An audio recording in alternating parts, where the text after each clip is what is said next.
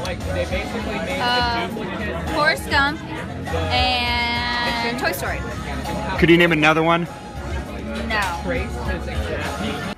Uh, he was in The Edge of Tomorrow, and I think Bug's Life. Can you name another? Um, yeah, absolutely. No, I can't actually. We got Toy Story, and uh, he hosted an episode of SNL recently. Can you name another one? Absolutely not. Uh, uh, Forrest Gump and uh, uh, Toy Story. Can you name another one? No. Um, Cast Away and Big. Could you name another?